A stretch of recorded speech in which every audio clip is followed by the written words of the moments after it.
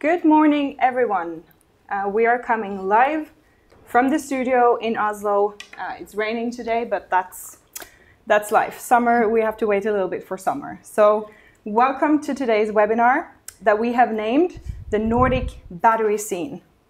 And in order to realize this vision, we have worked closely together with some important partners of us, and that's the Eyde Cluster, the Northvolt company, Hydro, the Confederation of Norwegian Enterprise, and SINTEF.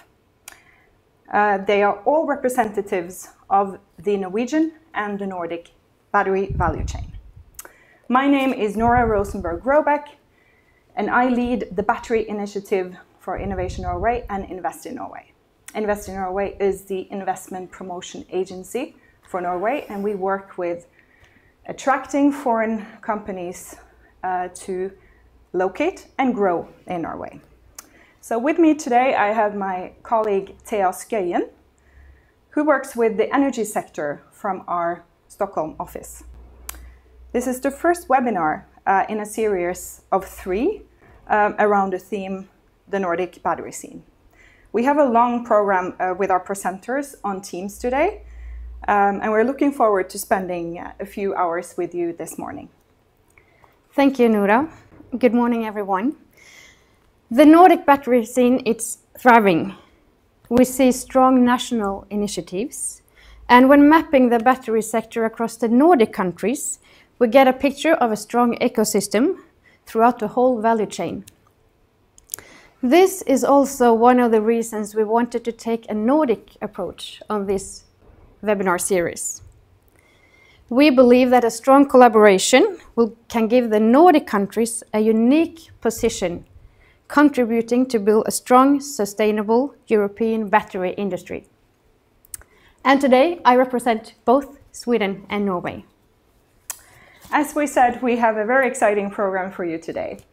Uh, but before we start, uh, we have a little message from our Norwegian Prime Minister, Erna Solberg. Thank you. Dear Vice President Šefčovič and distinguished guests. Right now, we are tackling the vast economic consequences of the virus outbreak. But the need for a greener shift is just as urgent as it was before the corona crisis hit us. This uh, webinar is an important opportunity to discuss how the Nordic countries can work together and contribute to further development of the European battery industry. Because even though we stay apart right now, we have to stay united as we strive for a greener, more sustainable world. Batteries play a significant part when it comes to reducing greenhouse gas emissions. In line with the EU Green Deal, the aspiration is that batteries and their components will be reused and recycled indefinitely, and thereby securing that critical raw materials remain in Europe, enabling a more circular economy. Norway is committed to contribute to this development. This month, Innovation Norway, through Invest in Norway, became a member of the European Battery Alliance. Already, the Norwegian maritime industry is at the forefront of developing new technology and adapting new environmentally friendly solutions. The private and public sectors are working together to increase the pace of this development. Norway has a unique position when it comes to battery development and production. Battery production is a very energy intensive and easy access to affordable, renewable energy is crucial. In Norway, 98% of all electricity comes from renewable resources. And we are home to primary producers of many raw materials used in batteries. By taking advantage of this, we can contribute to make the battery industry even greener. But we have to work together, as you are doing today. By joining forces, we can reduce greenhouse gas emissions and create new and green jobs in the battery industry. Thank you so much.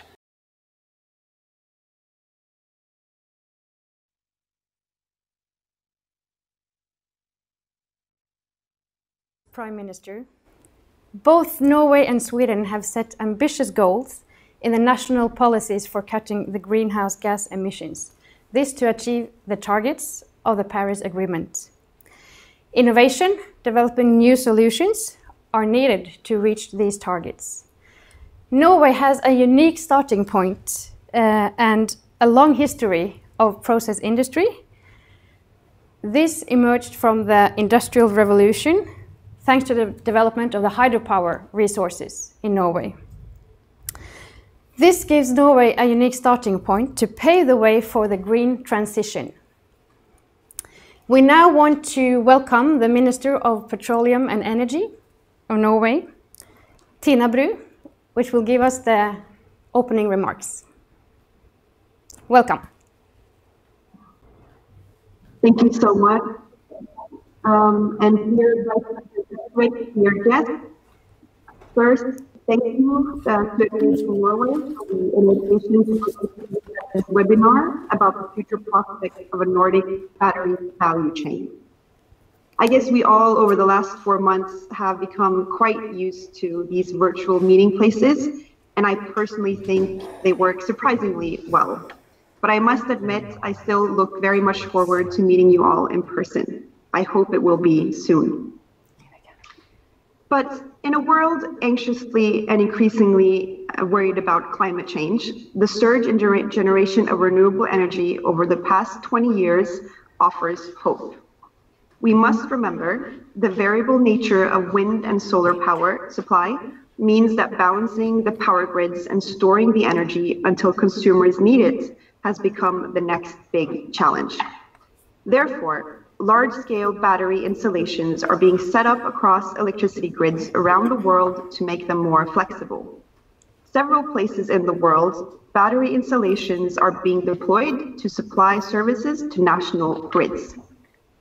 And such solutions are increasingly important to help match supply and demand as a growing amount of intermittent wind and solar power comes online. But the market is still in a very early phase. We are just beginning to see the second generation of battery-powered vehicles. Ultra-fast charging will, however, be vital to helping electric cars go mainstream. While a typical home will take hours to fully top up a car, some new public chargers will do it in just a few minutes. However, the energy density required for heavy transportation makes it harder for batteries to beat fossil fuels. It's definitely more challenging, and I believe that for heavy, heavy transport and ships, hydrogen and its derivatives can become a very good alternative. And earlier this month, in fact, I launched the government's hydrogen strategy together with our Minister of Climate and the Environment. And as you know, hydrogen is an energy carrier and as batteries can be used as a storage medium that can contribute to reduced emissions and value creation for the industry. And when it comes to production of the energy needed both for hydrogen and battery production, Norway has the very best conditions to do so in an environmentally and climate friendly way. We have plenty of available renewable energy sources. It might also be possible to use stranded wind and power and hydropower as sources to produce energy carriers such as batteries and hydrogen. And in Norway, we do very much believe that the future will become more and more electric, especially when it comes to the transportation system.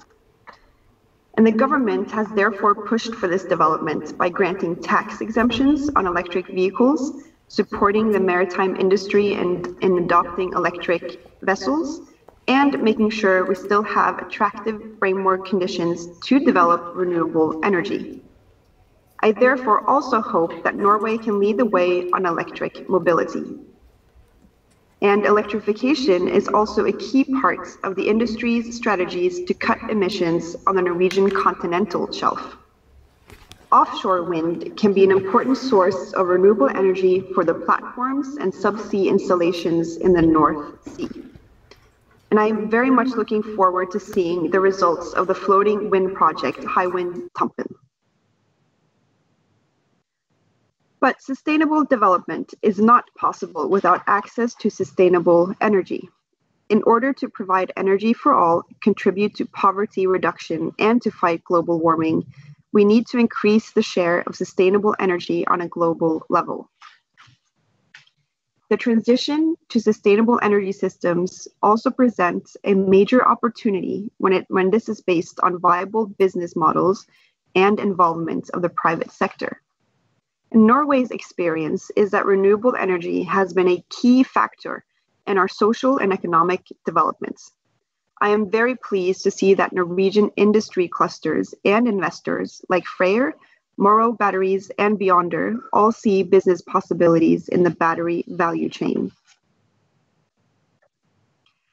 And the use of renewable energy sources is certainly a cornerstone of sustainable energy management in order to prevent further resource depletion. Sustainable hydropower development has been important for Norway since we started hydropower development domestically from around 1900. And hydropower here was used as a tool to develop our regions economically by providing power to new industries local communities were benefiting from economical transfer from the power companies to the local communities through multiple taxes, concessional power, funds, and as well as, of course, access to affordable electricity. And hydropower development over many decades has put Norway in a good position to meet today's challenges and also to export electricity outside Norway almost all of the Norwegian electricity is produced by hydropower. Electricity thus amounts to a very high electrification rate and provides a solid foundation for increasing e mobility and other uses. A relatively large freshwater storage capacity, totaling about 50% of Europe's reservoir capacity, has given us a very flexible power system. It is kind of like a gigantic battery when put to good use. It is well suited to support further integration of intermittent sources such as wind power. And the power market in the Nordic countries and Northern Europe is an effective way of cross border cooperation, securing an effective resource utilization. It brings good economical, climate, and, and environmental benefits. And two new interconnectors are under construction from Norway to England and Germany, and they will provide new opportunities for hydropower producers. And of course, we also have wind power here, here in Norway. It is becoming a, a, larger part of our total production, now counting 4%. We have 36 wind power plants with an installed capacity of 1,200 megawatts. Our first wind farm came in production in 2002, while the last year's investments have increased considerably. Electrification is also a key part of the industry's strategy to cut emissions on the Norwegian continental shelf. And offshore wind can be an important renewable source of energy to the platforms and subsea installations. With opening of the areas for offshore renewables in the North Sea, that we did just a few weeks ago, we are entering a new era for floating offshore wind in Norway. So, to sum up, in Norway, we consider ourselves an important partner to Europe in its energy transition, with an increased amount of renewable energy coming online now and in the years to come. We can store water in dams when electricity production exceeds consumption, and we can export to Europe when demand increases. Production of batteries contributes to make the world electric with the help of renewable energy. This is definitely a sustainable pathway going forward. I am convinced that we are just in the beginning of major developments within battery technologies when it comes to storage capacity and use. Thank you so much for your attention and thank you for the opportunity to speak to you today.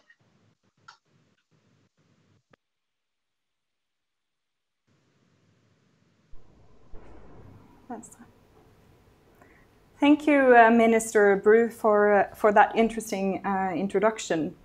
Um, we will now open for a short Q&A session with us here in the studio.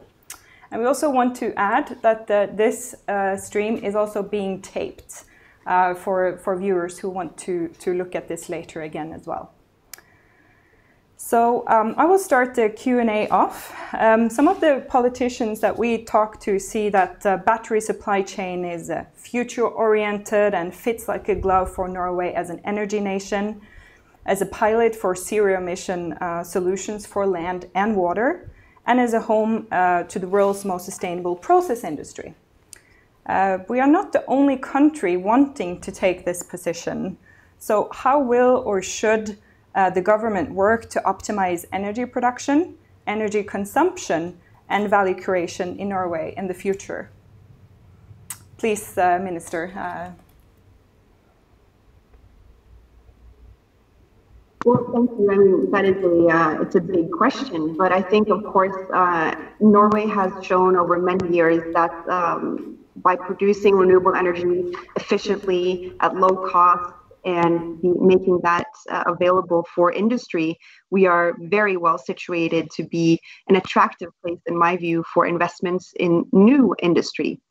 And if you are uh, looking for somewhere to invest and you also want to make sure that you can have power that is produced without emissions for your industry or your factory or your manufacturing, where else better than Norway to do just so? Um, so I think Norway over many years has really um, tried to to um, to work with what we already have. We have abundant natural resources. We know how to put them to use.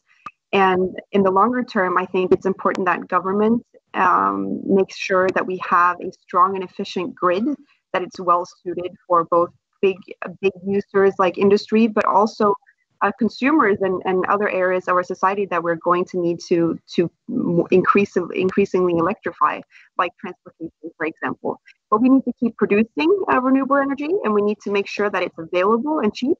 And to add on to it, I think I'd like to say, even though it's not my main area of responsibility here in Norway, but I would also like to point out that we have very highly skilled workers and um, and employ employees here in Norway that uh, are fit for the job and are industry leaders for the future. Thank you for a very good answer, um, comprehensive answer uh, to a big question.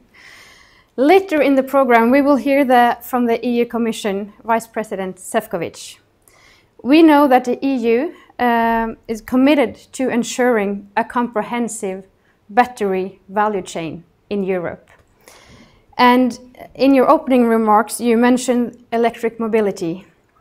And Norway has been subsidizing uh, the electric transportation market for quite some time now.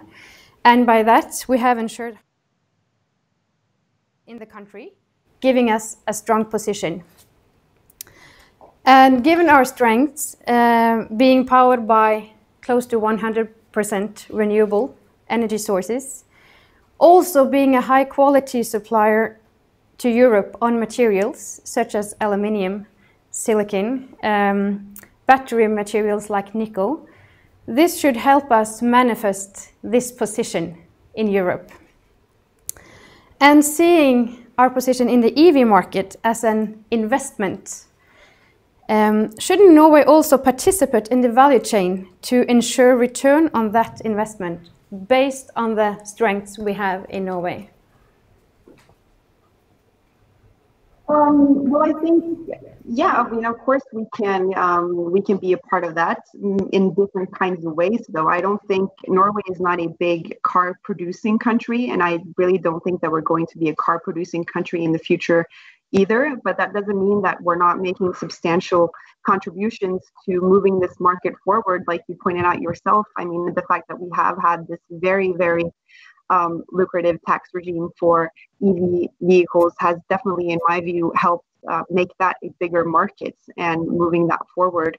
But of course, um, uh, industry creating the batteries that these cars need, uh, like we've talked about today, um, or uh, maybe even hydrogen that we're talking a lot about, which is also important in this value chain. I see great opportunities for Norway, but I think we need to build on what we're already good at. I think that's smart, uh, and I also really don't believe that government should pick the winners. But I think business and industry needs to lead the way, and we can, of course, uh, uh, we can share, we can back back it up with both uh, incentives and and also financing uh, in pilot phases and startup phases. But uh, it also has to be something that industry wants to take part of in Norway. But definitely, I see great opportunities in all these different value chains, uh, value chains in a green perspective moving forward. Thank you. You mentioned that uh, Norway is not a big uh, car producer, but we know that uh, the automotive industry in, in Europe is quite big, employing more than 14 million people. So it's a good opportunity for, for Norway to, to support the European uh, automotive industry. We have our strengths being uh, run um, on renewables. We are investing more and more in offshore wind also, as you also mentioned in your opening remarks. But will this create jobs? Um, within the battery supply chain, we know that the gigafactories, um, we have the first one being built in, in Sweden at the moment, they are forecasted to have 1,500, 2,000 employees. When we include suppliers, recycling, and society at large, one gigafactory can quickly provide tens of thousands of jobs. And furthermore, it can provide export values based on Norwegian renewable energy. And having this in mind, should the Norwegian authorities be working towards a clearer strategy, battery strategy, as they are currently doing in both Finland and Sweden? Um, well, I think firstly, uh, the things that you mentioned about uh, possibilities both on on work numbers, et cetera, in the battery business, I think those that a lot of that is the same for for offshore wind opportunity. I mean, it's still too early to see. We we don't know yet, but we are we are seeing possibilities. And I think definitely there will be value creation in offshore wind power here in Norway. And it's not mostly for us about uh, just producing that energy. It's about building new industry in Norway that kind of can can stand on on the shoulders of what we're already really good at in Norway, like our maritime industry, our oil and gas industry. And of course, I think that will be uh, be great opportunities both for for jobs here in Norway, but also in an export kind of uh, sense. But I mean, uh, yes, please, thank you both. I wouldn't mind us also being being on battery uh, value chain uh, and and having that here in Norway. I think the conditions are are fit for that as well. I mean, if you like I said earlier, if someone has a, a, grand idea of coming somewhere to to build a factory to produce batteries, where else better to do it in Norway, where the energy is cheap and clean? I think that itself is a, is a good selling point. Um, but I, I, again, I don't think we can pick the winners. Our, our job as government is to to make sure the framework is good, that the opportunity is there, and that we can back it up but I still think the industry needs to lead the way on on most of these things. Yeah, thank you again, uh, Minister Bru, for uh, talking to us this morning. Uh, we know uh, you have uh, a busy day and uh, there's lots to do be done before the summer. And um, so thank you for taking part, part this morning. Um, our next guest is not a stranger in the European battery ecosystem. Vice President Šefčovič from the European Commission is soon entering our digital stage today. Uh, Vice President Šefčovič will give us an insight to the status of Green Deal and new industry strategy, and also commenting on the industry in the light of COVID-19. Uh, the European Battery Alliance will be a central theme as well, and as the Prime Minister mentioned in her greeting, Innovation Norway recently became a member of the European Battery Alliance. Um, so we are very happy about that and excited to see where we can contribute going forward. So without further ado, uh, the digital stage um, is yours, uh, Mr. Vice President. Thank you very much and uh, good morning and thank you, or should uh, then be uh, tusen tak to the Prime Minister Stoltenberg and Minister Bru for those kind words of welcome, but also for introducing us uh, to the situation in uh, Norway. I'm very honored that I could be participant in this uh, digital discussion, and I also would like to thank Innovation Norway and uh, their partners for organizing this webinar and inviting me to speak to you. As you know, uh, batteries are not only the key technology uh, for the future of the planet, but uh, they're also very close to my heart.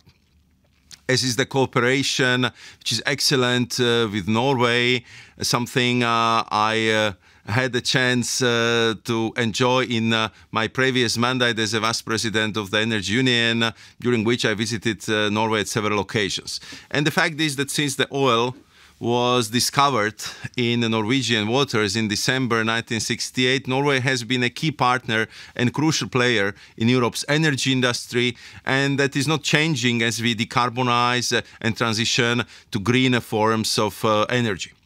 The battery industry is key uh, to this uh, transition and it's uh, truly European endeavor across the European Union and its closest uh, partners. So allow me also to express my gratitude to the decisive role that industrial actors, not only from Norway but also from Sweden and Finland, have uh, have played in helping us to establish a competitive, sustainable, and resilient battery value chain in Europe. This part of the world has long been a leader in innovation. In uh, the European uh, Innovation Scoreboard, in uh, which was published just last week, you would indeed saw those three countries, as well as Denmark, rank among the Europe's best innovators. And you don't have to look too far to find uh, this kind of innovation being used in the field of batteries, uh, thanks to a uh, scheme being planned in Oslo, for example. And I very much look forward to visit you again and to take uh, electric uh, taxi, which is uh, being recharged wirelessly. So uh, it's no wonder that the region has become such an important player in uh, electromobility with its vast experience in refining raw materials such as cobalt, lithium, nickel, using green energy, and its deep knowledge of a circular economy management such as waste processing and recycling. And of course, the experience in chemical processes such as production of aluminium and fertilizers is also very important. This expertise will not only increase uh, once the new lithium ion battery uh, gigafactory in Sweden and other uh, early stage projects in uh, Norway when they will come online. So I'll come back to my introductory uh, introductory remarks uh, when uh, I was uh, referring to the companies such as uh, Elkem, Talga, Hydro, Vattenfall, Agder Energy, uh, uh, which are really very known industrial players, and I would even say uh, the industrial uh, leaders at the front line of uh, these efforts. And we are in close cooperation and very much appreciate how these companies also help Europe to maintain its uh, competitive edge in design, innovation, and uh, sustainability. And with the COVID 19 crisis, uh, I would say accelerating the twin green and digital transition, uh, we need innovation now more than ever. With batteries, uh, we have already made a strong start. In uh, 2017, as I'm sure you know, together with uh, industrial actors coordinated by InnoEnergy, I established the European Battery Alliance to develop an innovative, sustainable, and competitive battery value chain. And the batteries are undoubtedly uh, vital, uh, including for Europe's automotive industry, which today deploy, employs uh, 14 million people, as it was already said by the minister, and provides over 7% uh, of the EU's GDP. What we expect is that by 2030, over 50% of passengers vehicles sold uh, in the EU will be electric, compared to 2 or 3%, uh, which is the case now. Three years on, and uh, the European Battery Alliance is already a resounding success. It showcases the 21st century approach to the industrial policy of the EU and its partners. It also combines the support for strategic value chains in an integrated way with the environmental objectives.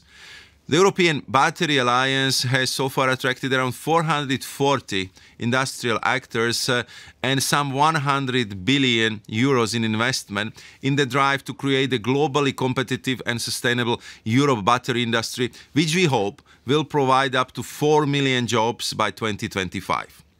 It is a flagship Alliance for Europe, providing a ready to use blueprint for other strategic sectors, for example, the Clean Hydrogen Alliance, which will uh, be launched next month, and Alliance on rare earth and magnets, which is expected later this year. But perhaps the biggest success of the EBA is uh, how it has changed the mindset around batteries in Europe. There is now a wider understanding of the essential role of batteries in delivering the EU's uh, strategic objectives of industrial competi competitiveness, decarbonization of the economy, and increased resilience and strategic autonomy in critical industrial sectors. There is also growing recognition of the need to reduce our overdependence on third countries, both for batteries and the raw materials needed to make them crucial to boosting our strategic autonomy and uh, reliance in this area. For example, 73% of the batteries bought in the EU are made in China and only 6% in Europe. And it's a similar picture with the key raw materials. 48% of graphite is imported from China. 68% of cobalt uh, from the Democratic Republic of uh, Congo, and 78% of lithium from Chile. So it's very important for us to make sure that uh, we will look closer at uh, this challenge. And as you know, I work very closely with my fellow commissioners on work stream related uh, to batteries in areas such as industrial strategy, financing, and research and innovation and uh, that means uh, that uh, batteries would feature high on the Commission's political agenda and are part of its strategic uh, initiations such as the European Green Deal, the circular economy, and the COVID 19 recovery strategy adopted last month. And I also have to say that while the pandemic has had a devastating impact on our economy, not to mention its horrific human cost, it has not changed our strategic objectives. On the contrary, there is now a need to accelerate our efforts and push for a truly sustainable and digital European industrial policy to boost our recovery and increase societal and industrial resilience. Game changing new clean uh, technologies are key to Europe's uh, future, including in its ability to continue to be a global economy and a global actor. So it is vital we put them at the core of the recovery, not only because many of them, including batteries, have the potential to boost economic growth and create jobs, but also because they will contribute to making Europe fairer, greener, and more digital, as well as more resilient. This, of course, will require significant cooperation and joint effort from the EU, its member states and partner countries and industrial actors. Now it's the time to mobilize all our resources across the whole value chain and press hard on the accelerator of the European Battery Alliance. So how do we drive the European battery ecosystem ahead? There are four main strands of work which are essential to speed up the delivery of the European battery ecosystem. First, we need to provide industry with a robust, comprehensive and fit for future regulatory framework to ensure that batteries placed on the EU market, regardless of their origin, meet the highest standards in terms of performance, durability and safety, as well as a responsible sourcing of the raw materials and environmental impact, which includes the carbon footprint over the entire life cycle. The new framework will be complemented by the high quality and timely standards developed uh, by our standardization bodies, CEN, CENELEC, and there we need to move quickly on this one and uh, our aim is to hold the first trilogue meeting with the European Parliament and the Council on the proposed regulations still uh, under German 2020 presidency. Second strand it's very important that uh, uh, we would uh, push for increase uh, of the leveraging of investment in the strategic battery projects. Here the task is twofold. Approval of the second German-led important project of common European interest. Uh, this uh, year I believe would be critical and uh, decisive uh, to ensuring that uh, the continuation of the strategic projects uh, in Europe will evolve further. And I believe that uh, this second very important so-called IPCEI project will be completed by the end of this year. Then we need to prepare a strategic approach on battery financing to ensure that the substantial chunk of the enormous amount of resources available under the uh, European Recovery Plan, which is a total firepower of 1.85 trillion euros, is used to support investment in batteries across the whole value chain. To this end, I'm working closely with my colleague, uh, Commissioner, as well as with the European Investment Bank, which has committed uh, to allocating 1 billion euros uh, to the batteries value chain in 2020 alone. Third, we need to step up research and innovation on batteries and ensure that the new Horizon Europe research program, which is replacing Horizon 2020 and its uh, strategic uh, uh, planning fully reflects the strategic political priorities of the Commission and that the batteries receive a uh, suitable share of uh, the 15 billion euros allocated uh, to the relevant cluster Cluster 4, which is aimed at uh, climate, energy, and mobility. Our research activities uh, should, of course, span all the stages of the battery's value chains from chemicals to recycling, while also focusing on integrating research into the industrial ecosystem in order to shorten the transition from lab to the market. The newly established partnership for batteries needs to play a decisive role here. And finally, we need to continue increasing Europe's resilience with regard to critical raw materials. In the short term, that means seeing adoption of the new raw materials action plan together with the launch of the Alliance on Rare Earth and Magnets uh, by early autumn. And uh, I believe that this in turn will strengthen Europe's resilience with regard to raw materials. It would help us to reduce our dependence on third countries and it would allow the EIB financing of domestic mining and processing uh, projects which would have a positive uh, influence on the environmental and social sustainability of the supply chain. Together, I believe these measures will help to put Europe into the driving seat when it comes to batteries. So I, together with my fellow commissioners, am committing committed to deliver on these measures in a timely manner. And as I have said, uh, however, this is a joint enterprise, uh, and I also count on continued effort, cooperation, and expertise as we seek. Uh, to fully charge Europe's battery industry.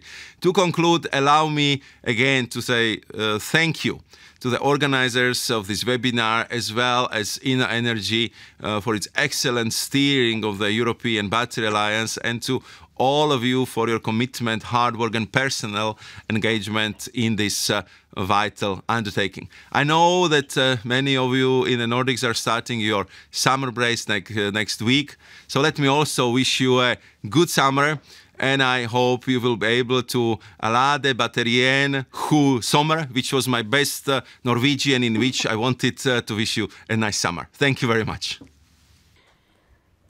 Thank you so much, um, Mr. Vice President. Uh, yeah, we just uh, we are sorry about the technical issues that we are facing. I just want to make sure uh, that we are working on solving it, and the live stream should be up now. Uh, also, don't worry, we will um, tape. It's uh, the, the the event has been taped, and everyone will get a link to to that uh, tape right after the show. So uh, don't worry about that, and sorry about the sorry about the mix-up. So continue. No problem. No problem. Yeah. Not at all. Uh, thank you for for uh, your speech, dear Vice President, and uh, you are most welcome to Norway anytime uh, to try the autonomous electric transportation project here. Um, a warm welcome. And thank you for underlining the essential roles of batteries delivering on EU strategic objectives for industrial competitiveness, the decarbonization, resilience uh, for critical industry sectors of Europe. And also for highlighting the need for a strategic approach on battery financing to increase the investment in strategic um, battery projects, also um, mentioning the, the resources allocated by the now the European Investment Bank. You highlight the, the sourcing of raw materials and sustainable sourcing of, of raw materials. Uh, this will be something we will discuss in our next webinar in August, and, uh, and uh, we will we'll pick up on, on that one. We are now opening up for a Q&A. Uh, Mr. Vice President, you will be with us a little bit longer in this Q&A. And with us to moderate this, we have representatives from the Norwegian battery cell industry. We have the CEO of Beyonder, uh, Svein Kvernstuen, Tom Jensen uh, from Freyr, and Terje Andersen from Morrow Batteries. These three companies represent cell production at uh, various maturity stages, and together they represent the, Norwegian addition to the Nordic cell production scene. You will alternate the questions per gentleman's agreement, so please behave. And we start off by giving the floor to Tom Jensen. Thank you very much. And, uh, and dear Vice President Šefčovič, I'd just like to congratulate you on taking leadership in this critically important uh, transformational industry.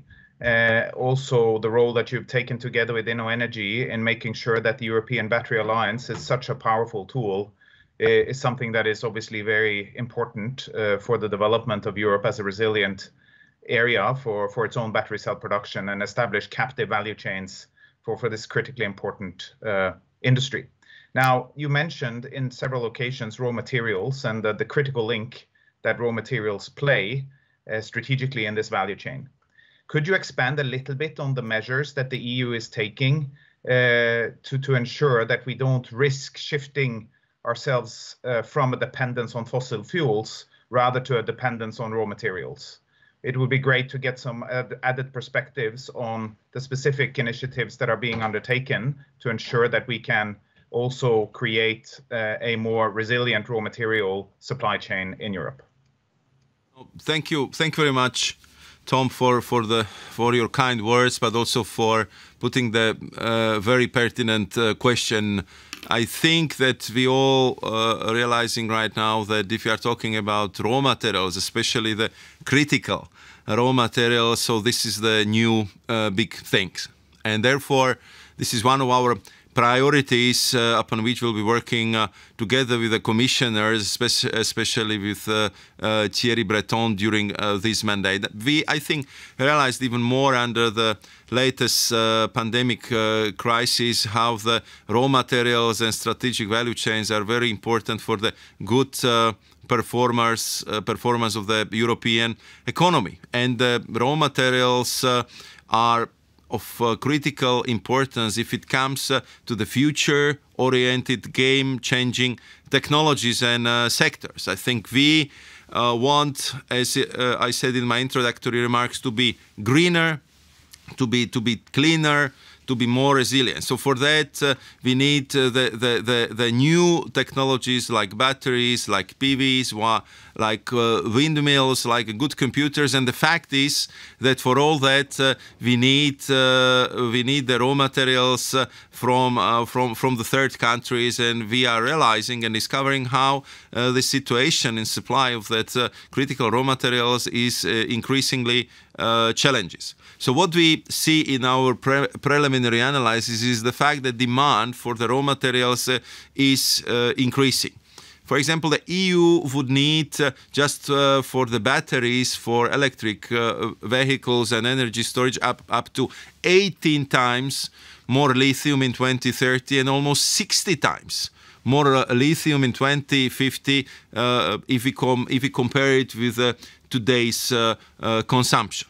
And currently, as you rightly pointed out, we are heavily dependent on third countries. 48% of graphite uh, comes from China, 68% of cobalt comes from Congo, 78% of lithium comes uh, from Chile, and uh, almost 100%, 99% of rare earth is coming from, from China. So it's clear for us that we need to strengthen our uh, resilience with regard to the raw materials, and it has to be a key component, I would say, part of Europe's uh, strategic uh, autonomy to, uh, to ensure that we would have uh, much higher resource uh, security. And I have to say, it very much reminds me of my work which I was doing five years ago, where we've been working on uh, diversifying of uh, fossil fuel supplies, making sure that we have a well-working internal market, that we have proper interconnection among our member states. We would never be uh, uh, put in the situation where we could be blackmailed by, by, by anyone or pushed into the tight corner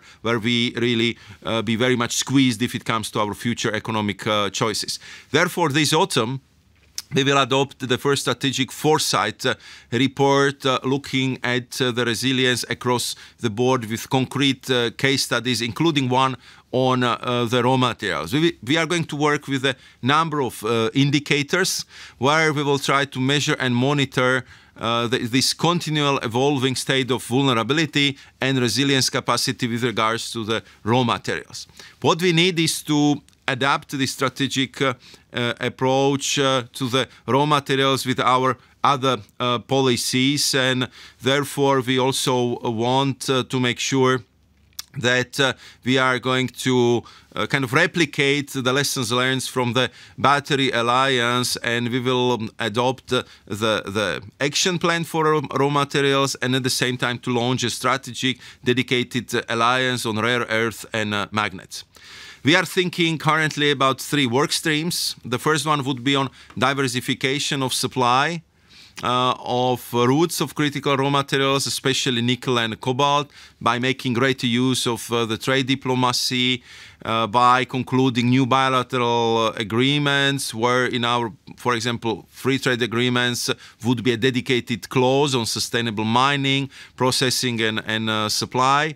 Then we want to offer greater support to domestic sustainable sourcing of primary raw materials. And here we are looking at such a twofold approach.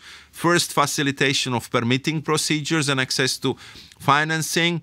And um, in uh, this context, uh, already uh, this year, we are going to update the critical raw materials uh, list uh, and uh, we definitely will put the lithium on it because EIB could support the economically uh, viable lithium mining projects in Europe even more. Currently, just for your information, we have uh, four projects in a in a pipeline in Portugal, in Spain, uh, in uh, Czech Republic, and in France our estimate is if uh, all these four projects would go ahead already uh, by the mid of the next decade, we would be able to cover around 80% of processed lithium because we do not want to mine, we also want to process the lithium, which is important for our battery projects. And the third uh, work stream should be uh, the, the reduction of the need for primary critical raw materials through circular uh, economy. And I think that uh, this is the key objective for upcoming regulation and batteries. We want to collect uh, the used materials, reuse them, recycle them, and I believe it would uh, put us in a much uh, better situation. So these are just few ideas uh, which uh, I would uh, tell you upon which we are working right now. But you're you're absolutely correct. This is big challenge, and this is really very uphill walk. But I'm sure that we will find a good solution to resolve it. Thank you very much, and uh, good luck. And we hope to be able to support it as much as we can. Yes, uh, thank you, Mr. Vice President, uh, for a very interesting uh, speech. And uh, I also appreciate uh, your focus on the four strengths that you mentioned. You have, in these mentioned that the sustainability which is extremely important, could be a great contributor to the competitive advantage of Europe on batteries. Could you please give a bit more details about the legislation that is in the making on this? Yeah.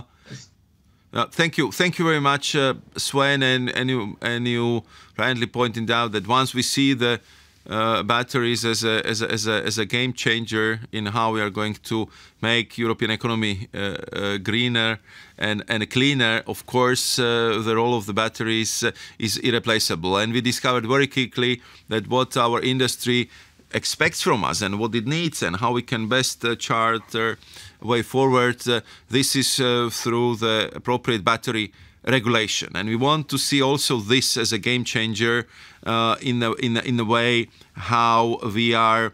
Uh, uh, how we are working on the future uh, oriented uh, technologies and I believe that it would uh, have the same effect as a um, as a emission regulation and emission trading scheme had on the European economy. Why is it so important? Uh, if you just look at uh, the first quarter of, of this year, and we all know that there was a huge crisis that was extremely difficult for everyone, but the fact is that the sale of uh, electric uh, vehicles in the first quarter of uh, this year if you compare it to the first quarters of 2019 despite all the difficult circumstances so the, uh, there were more electric vehicles sold in Europe if you look at Germany the increase of, was of 148%. In France, it was 123%. In Sweden, 87% more of electric uh, vehicles uh, uh, being been sold comparing to the last year and at the same time we saw that there was the, the reduction of sales of uh, combustion uh, engines in France 25% uh, in Germany 25%, France 39%, and Sweden also 25%. So I think it's also seen that despite the difficult circumstances, also I would say the the the, the mood of the consumer is shifting, and they're much more conscious about the environmental impact uh, of smart mobility and um, and electric uh, uh vehicles. So therefore, we are putting a lot of efforts and we are working very hard to prepare this new fit for future comprehensive regulatory framework for uh, batteries. And as i said we really want to adopt it uh, in october. We want to address all the critical aspects uh, including due diligence uh, on responsible sourcing of raw materials. We want to measure carbon uh, carbon footprint uh, covering the whole life cycle uh, performance and durability would be very important for us.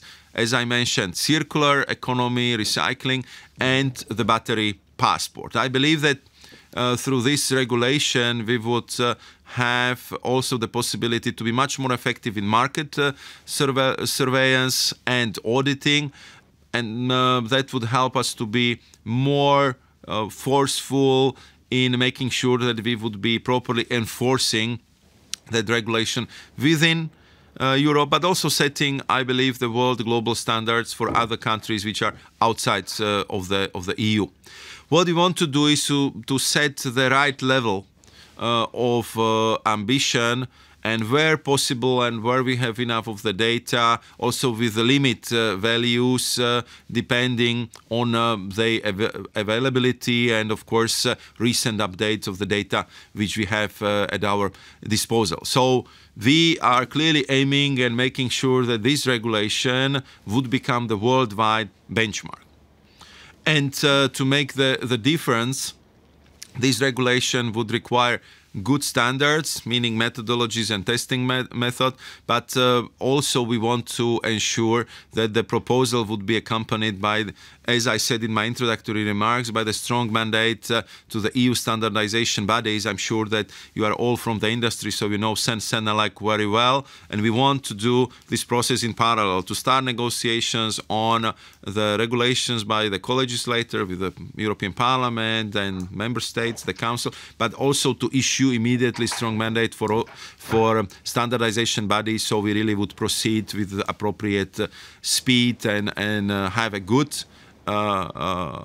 highly valued. Uh, uh, regulation, but at the same time, very, very high standard. So this is, I think, what uh, uh, we are planning for this year. Just last word on timeline. As I said, we would like to deliver the proposal by October, and I have uh, preliminary agreement with the, with the German presidency that we will both work very, very hard to make sure that uh, we will have a first uh, trialogue already by uh, the uh, end uh, of the year. So this is the plan, and as I said, we want to start parallel process with the standardization body. So, so this is, I would say, very, very uh, uh, very challenging schedule, as you can imagine, but uh, there is strong intention on our side to deliver on time because we know how important it is for the European industry.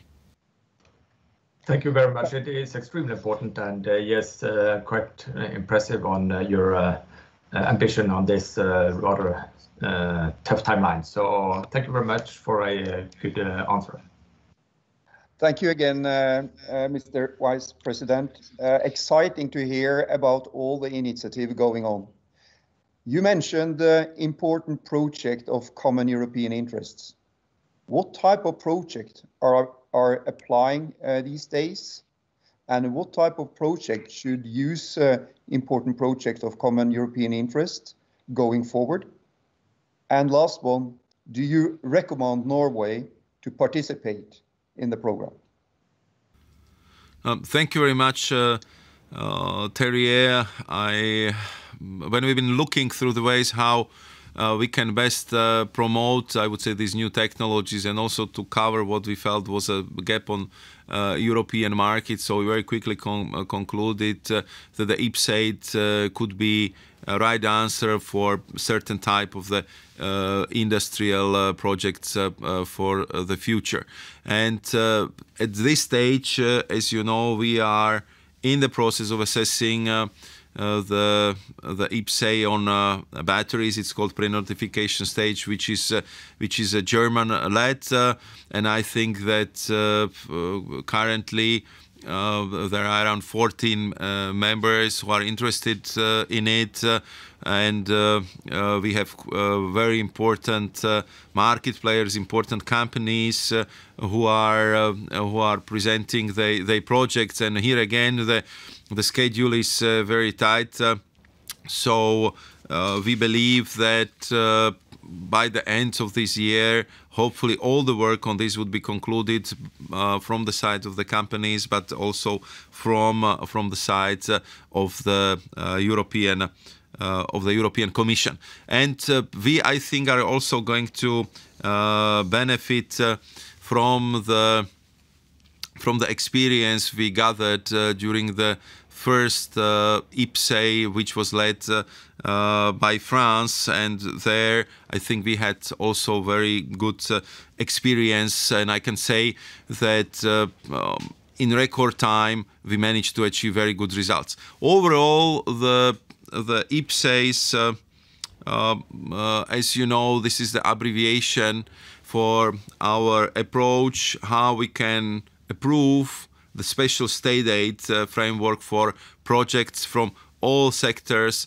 of economic activity and the notified uh, project in, the, in, this case have to comply with the conditions linked uh, uh, with the scheme. What they are, I mean, first and foremost, they have to contribute uh, to the common EU uh, objectives. It means that they have to have significant impact on competitiveness of EU economy, they have to support sustainable uh, growth and also address societal challenges. The second condition is that they have to be of the major innovative uh, nature. I mean, of course, it's uh, R&D or the first industrial deployment of the new innovative technologies. And, and the third, which is also very important when we started with IPCEIs for batteries, this was how can we address the market failure due to a very considerable level of technological and, uh, and financial risk.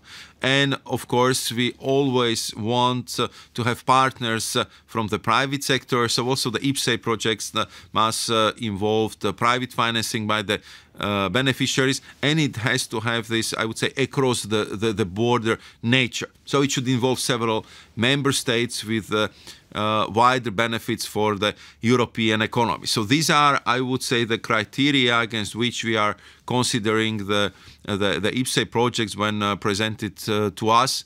I have to say that uh, my colleague Margaret Vestager, the vice president responsible for competition, did a marvelous job on this because I think we really developed the new way how to how to promote uh, the, the, technologies which are so so crucial for the European uh, uh, twin transition success. And then, of course, in the process, we are communicating uh, very closely with uh, the EU member states, uh, but not only, because there is very close cooperation with EFTA authorities, and this is for the uh, member states and companies involved uh, in IPCEI to decide which countries uh, can join. So I would say that Norway would always be welcome. And just to conclude on the first experience with France, just to give you the perspective, uh, how this first uh, led uh, um, IPCEI, IPCEI, IPCEI project led by France been completed. So we had in the end seven member states. Belgium, Finland, France, Germany, Italy, Poland, and, and Sweden. Uh, in agreement to support research and innovation in the area of uh, batteries. These seven member states uh, are providing in, a, um, in the coming years more than three billion uh, of, Europe, uh, of euros in funding for this project.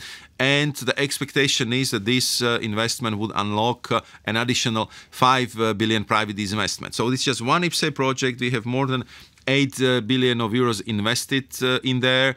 And I would just recall that thanks to the great work of uh, Energy and their financial uh, platform, we are now uh, see that there is uh, more than 100 billion of euros uh, channeled uh, towards the project supporting European Battery Alliance and the, the, this development of new ecosystem, which I believe would be of the crucial importance for the European industry. So thank you very much for all the three questions. Uh, they've been very much uh, to the to the point, uh, and I hope that I've been able to uh, to inform you about some additional details which would convince you that uh, this is very important technology and that we are very much looking forward to cooperate also with the great companies from Norway. Thank you, Mr. President. Um, very very interesting insight. Back to the to Nora and her team thank you, thank you guys for that, and thank you, uh, Mr. Vice President, for that interesting uh, Q&A. Um, there's no doubt that we will see a lot of activity in this sector uh, in the next couple of months, and and that strong international collaboration will play a significant role um, to the growth uh, of this sector. So, next on the agenda, we have the chairman of the Confederation of Norwegian Enterprise, Arvid Moss, and the chairman of the Swedish Confederation of Swedish Enterprise, Fredrik Persson. Um, they are both senior executives in, in the industry sector in the Nordics, and today we are welcoming them to a conversation around the theme how Nordic collaboration can boost the Nordic battery scene and help deliver on EU Green Deal and new industry strategy. And uh, we have them both with us now, I think. So without further ado, uh, Persson will start this section off, followed by Moss. And, uh, so, and they will self-moderate their own conversation uh, to leave out any technical issues. So welcome, gentlemen. Thank you very much. And how, how's that for a sustainable solution? And I think you're you're a too brave person uh, leaving this to, to Arvid and I. Uh, let, let me start off uh, and, and congratulate you on a, on a great uh, seminar, but on an even greater topic. And I, I know we were going to supposed to focus on, on batteries, but to start off, I would only like to say from uh, the side of Swedish enterprise, I think one key here is uh, the European Green Deal. And I would like to say that from, from the Swedish side, we fully and wholeheartedly support that deal. Uh, we think it's key for getting Europe forward. It's key for a modern Europe. It's key for a competitive uh, uh, Europe. Uh, so that is sort of at the start of what we're discussing today. And I, I think Sweden and the Nordic region and Norway are extremely well positioned to be in the center of the European battery industry. And I'm going to point at uh, some advantages or positions that we have currently. I think we're one or two steps ahead in, in Sweden, but I think Norway is trailing and have all the possibilities to, to be on the same level and to catch up. And the reason for that, I think, is one prime advantage and key um, winnable here is to have good and reliable supply of renewable energy. I mean, if you if you look at uh, producing a battery for every kilowatt hour of battery capacity in the production process, you need some 100 kilovolt to, to get the battery done. So energy prices will be key here, and the access to sustainable and renew renewable energy will be key. So here we both have a strong advantage uh, with the hydropower we have. But, but to get ahead, it's also in, important to have an industrial tradition, and I would say that's served Sweden well. I mean, we have the entrepreneurs, and we will later on listen to to Northvolt, and I think nothing happens without the entrepreneurs and people with the drive. But we do have an industrial tradition of both uh, raw material extraction, but not the least also of recycling. And I think recycling is here key because we have to look at the whole value chain. I mean, stretching from the raw material extraction all the way to the recycling. And here I would uh, uh, take my hat off for, for Hydro and uh, the Norwegian initiatives that are done with uh, Northvolt on the recycling side. So here I think Norway is already playing catch up. We've already heard the discussion on uh, the rare earth metals, and I think this will be a challenge. We do not want to end up in a situation where we become as dependent on uh, metals that we are on today on fossil fuels. But I think there are some promising signs here. If you look at geological surveys, I think there could be the possibility to extract these type of metals both in Norway and in Sweden. And as said, we have a long-standing traditions of raw material extraction in Sweden, and we also have the companies that produce that type of equipment. And, and to that point, I think uh, my uh, you also have the market uptake to get uh, industry going, you really have to have the demand. And I think here in Norway has been a good first mover on the car scene with a high level of uh, electrified cars. And we are seeing the same to a certain extent in Sweden. But we're now also moving into the electrification of heavy uh, vehicles. And I would really like to lift the example of Swedish company Epiroc that is currently uh, electrifying the mining industry so creating sustainable uh, mining, which is both important in terms of sustainability, but also in terms of getting the rare earth metals. My final point would be on the recycling side, looking at the whole cycle from the metal uh, extraction to the recycling. So that would be really, really important to have good recycling. And here I would also lift the Finnish example. We have some good examples of uh, recycling in Finland, and we have a strong tradition in the whole Nordics. These were the positives. Uh, aren't there any negatives? I think there uh, is one, and there's, of course, that we have an extremely high personnel cost in the Nordic countries. And one could then, of course, ask, uh, is this a great uh, disadvantage for us as compared to the countries where we see battery production today? Uh, I would say that personnel cost is not a large part of the battery production, and we're also in the need of highly, highly skilled labor, which I think is a great advantage for both uh, Norway and Sweden. So I think that is a challenge that is definitely uh, able to, to handle. So I think uh, Sweden is maybe a step or two ahead, and I would put that uh, to uh, the strong entrepreneurs behind Northvolt, uh, the strong network of Swedish industrial companies that have been supporting Northvolt. But I see no uh, a reason why we shouldn't, on a Nordic level or a Norwegian level, come as far. Thank you. Thank you, Fredrik, and uh, I can uh, subscribe to to what you say about the Green Deal in Europe. I think it's extremely important for all of us that we see this movement in the right direction. And all of you should also know that the Nordic countries and and and Fredrik and myself, we uh, we have a, a, voice in Business Europe uh, where we really try to push the, the green agenda, and uh, I think we have we have moved some of the attitudes in, in Europe, I would say, on, on this topic because it's so important. Well, on, on the batteries, I, I think you are right, Fredrik. Uh, Sweden is is a little bit ahead when it comes to industrialization while Norway has been ahead when it comes to introducing electric vehicles and also batteries in in the in the ferry sector. Uh, 10 years ago, 1% of the new sales was electric vehicles. Uh, this year, so far, 50% of the new sales of uh, passenger cars are electric vehicles. So it's a fantastic development, of course, with a lot of support from the from the state.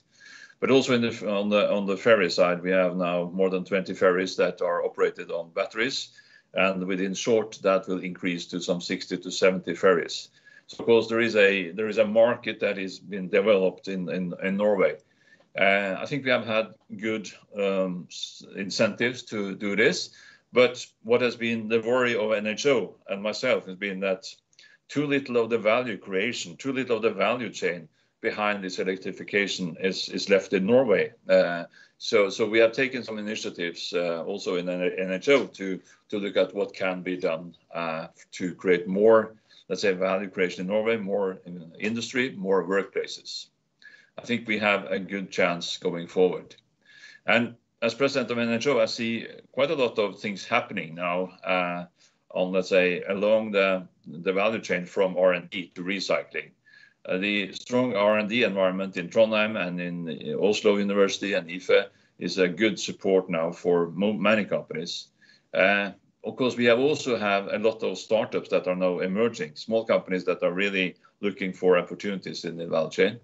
And then, of course, we have, uh, as a third element, we have the strong cluster of process and material industries, the the Elkems, the Glencores, the Hydros, etc. in in in in Norway, and that is a tradition to really uh, build business that matters. And batteries is really about building business that matters. This will be a big industry in in, in the next decade. And and uh, let's say the the large enterprises in Norway are really uh, let's say looking into opportunities now. I think you have had some great entrepreneurs in Sweden, and we need them in Norway as well. But uh, I think also it's important that that the large enterprises involve themselves. And then I would uh, again, uh, as, as let's say state of, of, of today, the maritime industry uh, just developing themselves pretty pretty fast. So what is now ongoing in Norway? I think that the on the upstream part, uh, that means on processing of raw materials uh, and uh, what goes into the cell manufacturing. There are some initiatives. Uh, Elkem is doing something on the pilot plant for anode material. But I think also when it comes to graphite, cobalt, nickel, lithium, we see some initiatives coming up uh, to start up. On cell production, uh, as we have heard already, it's it's uh, it's Morrow, it's FREYR, and it's Beyonder that are all, let's say, in the early days of creating a foundation for cell manufacturing in Norway. On packaging and integration, both uh, Siemens and Corvus uh, have established um, specialized plants in Norway to uh, create to deliver battery systems to the maritime sector. And as you mentioned, Fredrik, on recycling, we, we just announced the 50-50 joint venture with Northvolt. Uh, what is very good with Norway, uh, and that is also true for Sweden, is that a very good support from uh, from let's say public, uh, let's say from the from the state sector. Uh, we have Enova in Norway, uh, which uh, invests in in uh, and give grants to green projects. And uh, last year, it actually gave more than 500 million euro to to this. So it's uh, it's important to have these vehicles to get get us through the first first phase. So I I think that we. we have a lot to to to, to work on, and I think that there's a lot of interest now, and I think that the the the point is that this business will be built in partnerships. I think that is also why it's so important that we talk in partnerships in Norway, but it's also important to see these partnerships across Norway, Sweden, because we are, let's say, this is too big for one country. Uh, I think we can be much stronger if we work together. I think that the the examples we have, uh, talking from as my professional job in Hydro, I really see that we have not been where we are today without um, the joint ownership in Corvus with the Equinor and the Shell and the others who really took this um, forward because they wanted to develop something for the offshore and the uh, oil uh, supply side. And We had joined uh, with a small position in Northvolt last year because we saw that Northvolt was really spearheading the development and the cooperation with Northvolt is developing uh, gradually and uh, now with the joint venture on recycling. And we also look at other places where we can uh, mature opportunities. But all in all, Fredrik, I think that um, the dialogue between the Norwegian and Swedish companies should be enhanced. We should really look for where we can, let's say, not only go alone, but go together. And uh, in Brussels, and then the European car industry is really looking for companies like uh, like we we have in in uh, in Norway and Sweden. And you mentioned one one thing, of course, the the renewable power is very important, but you also mentioned the workforce. I think that we have a highly educated workforce with the best opportunities to to run highly automated uh, equipment, and and this industry needs to be very very uh, highly automated to be competitive. So, so a lot of interesting things going on. So, so, so I think it's more, So, how what do we do next, uh, Fredrik? Going back to you, what what do we what can we more do together to develop towards a European supply chain?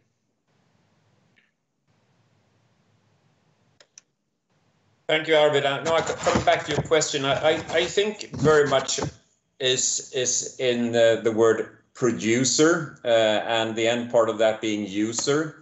I I think a huge advantage from for Sweden has been the strong industrial heritage we we have with companies like ABB, Epiroc, Atlas Copco, uh, Volvo, that are really embracing the effects of sustainability and electrification, seeing that they've been producing these type of products for for decades and centuries, and that they're now adapting to uh, the the new normal of of electrification.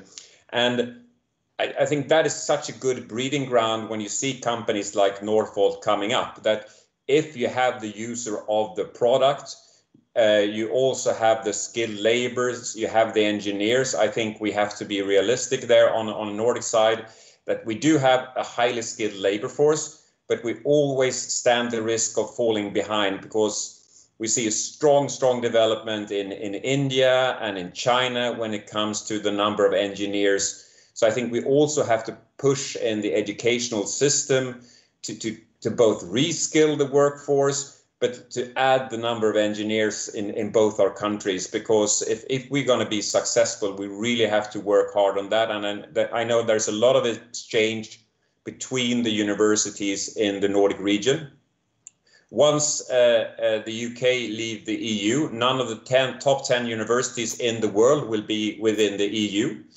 And of course, uh, Norway is not within the EU, but I mean working closely with the Danish universities, the Norwegian universities, I think we can create an educational and a university force that is really really strong and that will help support and be um, a playground and a breeding ground for these type of new ideas. Hmm. I agree with you. And I think that you have uh, uh, the Scanias and the Volvos that is really an important consumer group over time. And we have the maritime sector. Exactly One of the largest in the world. You start off with the ferries, and then you take larger and larger vessels. And, and I think that, of course, over time, uh, batteries will also meet its limits, but then it's more over to hydrogen and other stuff. So, but, but there's a long way to go before we have explored all the opportunities in the maritime sector. And, and I think that this kind of cooperation also with the main customers are very important. But, but one thing that uh, you also touched on, Fredrik, I think that to really, um, we have to really strong on technology development because I think that's the only way to succeed over time in this business. We cannot rely on, let's say, others' technology or or let's say being licensed from from, from abroad. I think that we need to really um, put more money into research development and innovation and commercialize these ideas because if we are not, let's say, um, uh, aspire to the to the podium, on, the battery technology, I think we will lose out even if we have uh, a lot of good things. So, this, how do we really ensure that enough uh, is now put into the advanced uh, research and development, and also that we as companies do enough?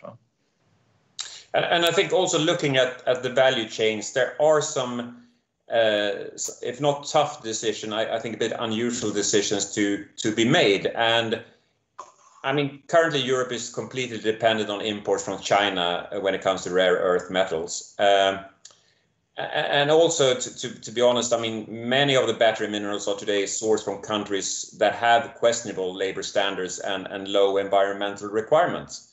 And at the same time, I think we have the same situation both in Norway and Sweden that uh, it's it's extremely hard to start a new mine. Mm. Uh, um, to, to get the permits to start a mine could could take tens to, to, to 20 years. I, we haven't started a new mine in in Sweden in a decade. This is something we're discussing very much with, with the government. But and, it really looks at when we're talking vanadium, cobalt, graphite, lithium, these type of rare earth metals are present uh, as we see it both in, in Norway and Sweden. And I think it, it is it is tough in the general public to open up mines, but I think we have to be realistic and say, hey, we, we can create a sustainable production value chains for batteries, mm. starting from the raw materials to the extraction to the recycling.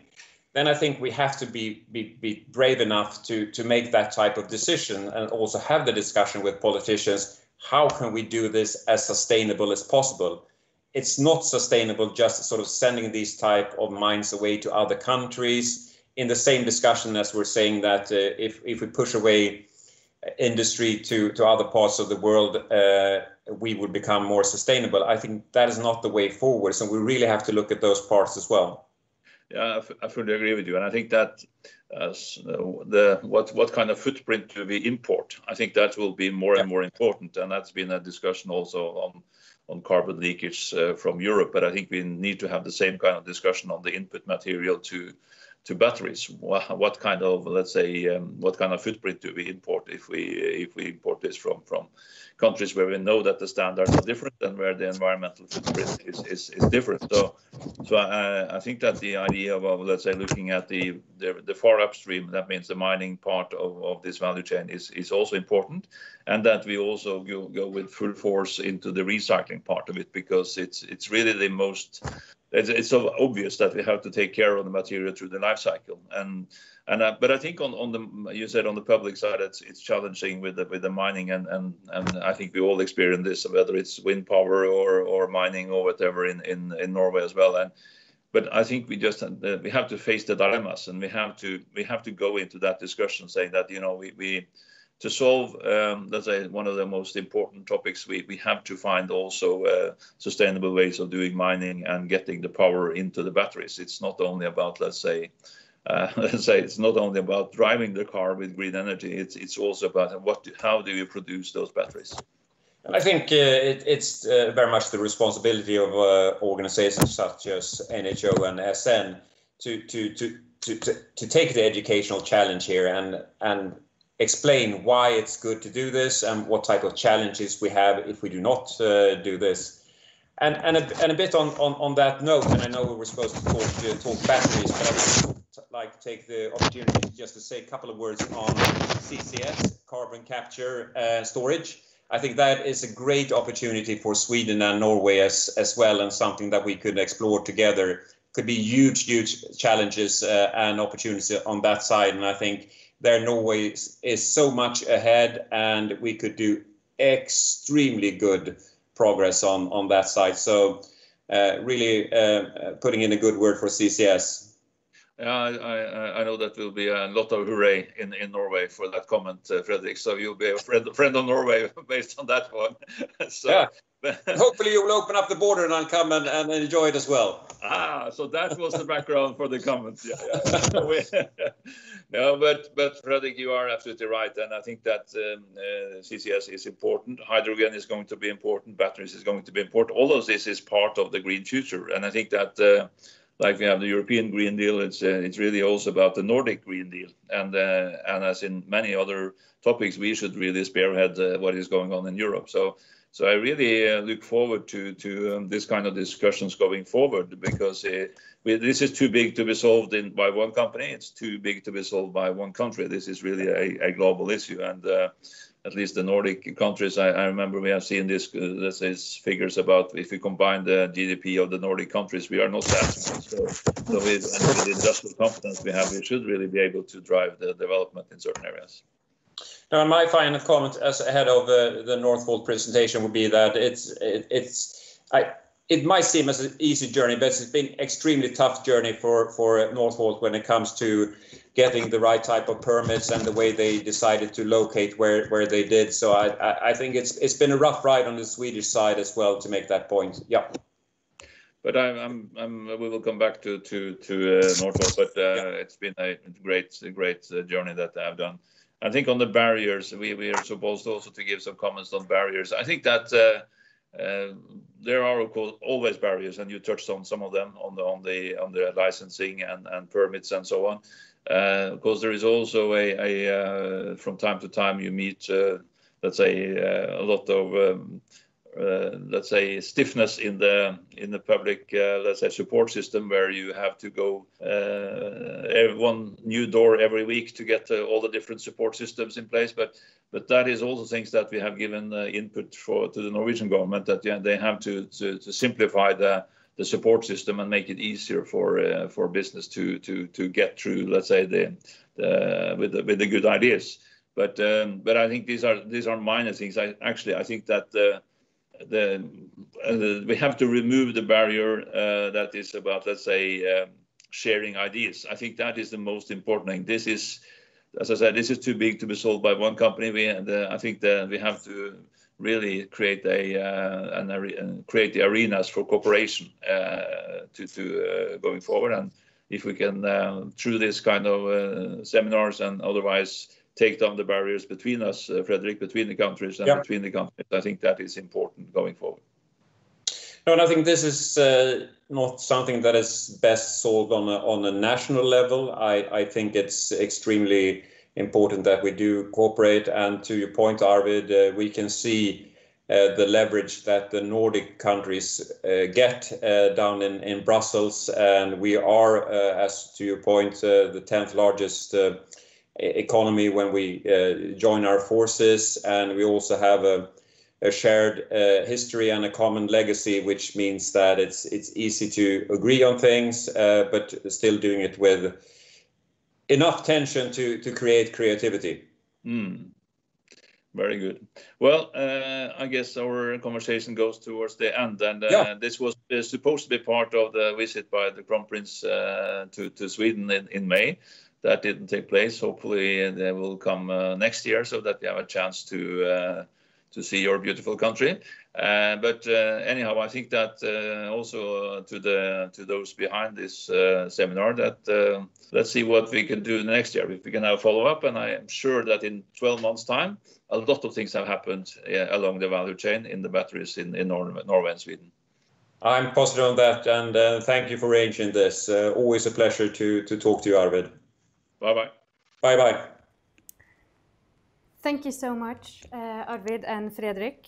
Um, Fredrik, you mentioned the electrification of the mining industry in Sweden, and Arvid, you mentioned the development of elect or electrification of maritime sector in Norway. And when it comes to electrification of transportation, we see that Norway and Sweden are leading interesting projects that can complement each, each other, being a good starting point for collaboration. You also mention that we do have access to raw materials in the Nordics. Um, we can extract in a sustainable way. Um, with the Northvolt project being the first one on, on cell production, uh, we have the usage. We also are, are developing now the, the recycling part uh, of the battery value chain. This shows that, as you mentioned, Fredrik, we are very well positioned in the Nordic countries to be in the center of the European battery industry. So thank you for highlighting this. You spoke about Nordic collaboration in your conversation. And we do have with us the Swedish cell manufacturing company Northvolt that recently announced a joint venture together with Hydro in Norway. And we now want to welcome Emma Nehrenheim to the digital stage. Um, you will give us uh, a presentation on how the Nordic cell manufacturers can produce the world's greenest lithium-ion batteries and share some more insights of the status of the Northvolt project. So welcome to the stage, Emma. Thank you so much. Uh, and hello, everyone, especially hello to everyone in Norway. It's, uh, it's an amazing journey that we are about to start, entering uh, yet another market uh, and, and bringing uh, our battery cells uh, and third-party battery cells back to new battery raw materials. I'm going to come back to that, but what I want to do is to start by just briefly introducing Northvolt and introducing myself. Uh, so my name is Emma Nehrenheim. I'm the Chief Environmental Officer at Northvolt. Uh, it's uh, been now a journey for three years for me in the company and just a couple of months more uh, for the company as a whole. Uh, we are a, a very rapidly growing startup uh, in Sweden. It was not obvious that the company would actually start in Sweden. It was uh, the founders moving back from Silicon Valley, California, with uh, several years of experience in building Tesla from the top and from the start, and finding that the European market has a huge journey uh, to be done in order to make it uh, in the electrification, especially in the transportation sector. And interestingly, this was uh, the kickoff of basically all the activities that we see now. Uh, Peter and Paolo really managed to to build an incredibly strong team. Uh, they managed to find um, the perfect uh, plot for the first factory to be built in the Nordics here in Sweden and they also managed to merge uh, the the expertise from the Japanese and Korean uh, battery manufacturing that is already ongoing in Asia, uh, basically the leading battery manufacturing in the world, and uh, uh, together with the Silicon Valley spirit and the industrial traditions that we have here in the Nordics. So it's a pretty amazing team that is now here in Sweden starting to commission the first industrial plant in Västerås and also building the Skellefteå plant. And one of the main differentiator that that were seen already from the start and were enabling also Europe to be in the future standing out significantly from basically all other battery manufacturer is the ability to build something that is fully sustainable from the start. So normally when I talk to uh, people about this, I say, let's do it right this time. And all the advantages we have here in the Nordics, we actually can do it right this time. Uh, we have a very strong, as I said, industrial tradition. And not only that, we also have a very strong authority tradition. So our authorities here in the Nordics are used to, in collaboration with industry, putting standards to protect not only people but also the external environment uh, from potential harm, uh, but also looking ahead for several generations.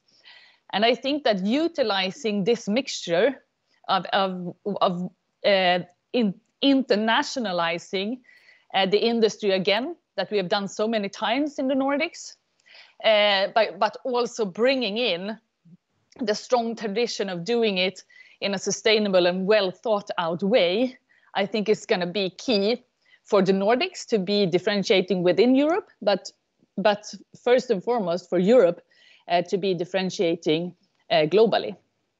And this enables, in its turn, the vehicles sold from Europe to have a very strong uh, sustainability brand uh, all over. And I know that the Commission is ver working very strongly to uh, to preserve this uh, commitment and to make it uh, some kind of label or something that is very strong uh, going forward.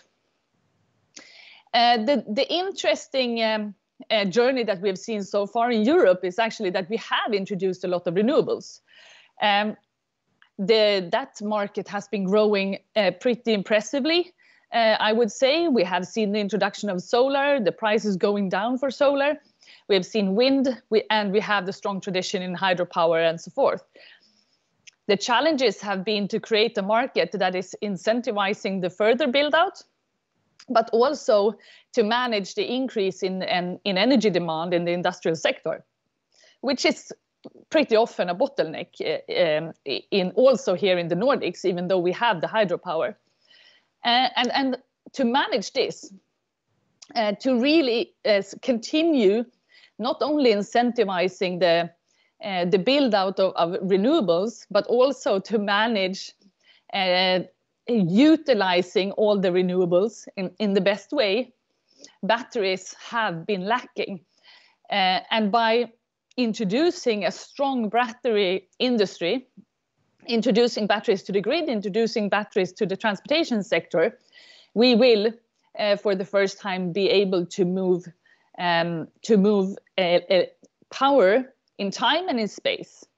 Uh, so challenging um, as it has been, it's it's now possible to solve it. Something that this comes with is to really make sure that we do incentivize uh, further build outs so that we make sure that when we calculate carbon footprint, we are not calculating it based on, on, on paperwork. We are actually making sure that the feed of, of clean electricity is going directly to the source. Uh, and, and why do I say this? Is because I'm an idealist. I think it's very important that we are that we are really doing this for a cleaner future, and that we are really doing this to uh, to make sure that we meet the Paris Agreement. Um, and uh, and I think that this uh, is also uh, in strong favor of the Nordics that we have this advantage, and that the direct feed of hydropower uh, will be really taken into account in the competition between other uh, uh, industrializations. And Northvolt did, as I said, we did set up very, very early a very high ambition when it came to sustainability. Uh, I was hired early with a role to not from an administration point of view, and but from a technology point of view, and from a business perspective, uh, build a brand and build a solution oriented platform for making sure that our batteries are green, that our factories are green, and that uh, we support the market in this transportation uh, transformation. And uh, we are looking at this uh, in the entire um, loop of the battery, so from cell to cell. And we are also working very, very hard with, with the mining uh, sector. We have a strong advantage, and I'm going to come back to that in the next slide. But the advantage that we have is something that we call the vertical integration, which means that we are doing most of the preparation of the materials on the cathode side ourselves. Uh, and, uh, and this means that we can have a very direct uh, relationship and partner up with the mining sector, and we can be very selective in who we buy from.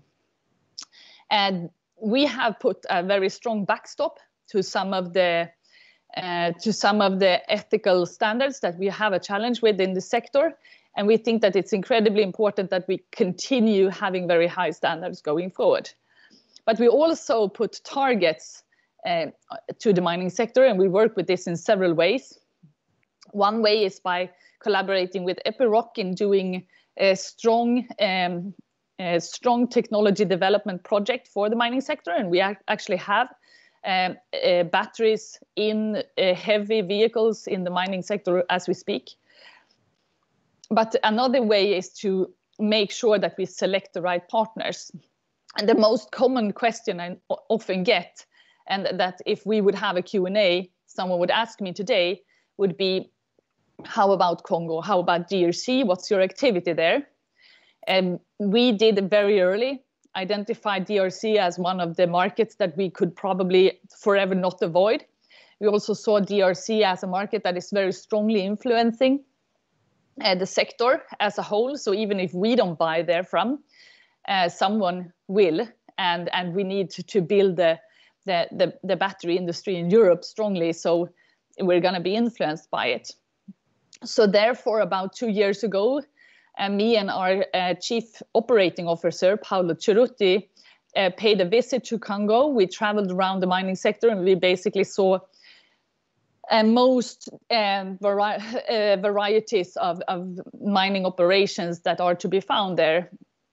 Uh, we discovered that it is possible to find really good entrepreneurs locally, but that it takes a lot of due diligence and audit uh, processes to be set in order to do it. And uh, as of today, we are not uh, signing any contracts with Congo, but we have the ambition to be collaborating in Europe or ourselves being involved in some project that would support Congo into going into a strong industrialization.